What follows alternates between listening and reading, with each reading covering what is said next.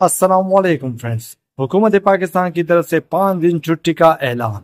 حکومت کی طرف سے چودہ، پندرہ اور سولہ اکتوبر یعنی پھر منگل اور بدھ کی چھٹیوں کا اعلان۔ اور ہفتہ اتوار ملازمین کی ہفتہ وار چھٹی ملا کر پانچ چھٹیاں ایک سال حکومت پاکستان کی طرف سے پریس ریلیز میں چودہ، پندرہ اور سولہ اکتوبر دو ہزار چوبیس کو اسلام آباد اور راول پنڈی میں سرکاری دفاتر بند رکھنے کا اعلان کیا گیا ہے۔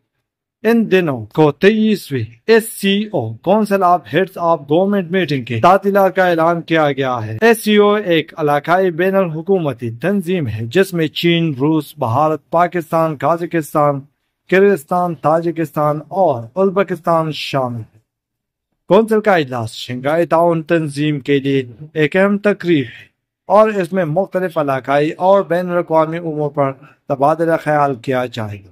حکومت کی طرف سے چودہ، پندرہ اور سولہ اکتوبر۔ یعنی پھر منگل اور بدھ کی چھٹیوں کا اعلان اور ہفتہ اتوار ملازمین کی ہفتہ وار چھٹی ملا کر پانچ چھٹیاں ایک سال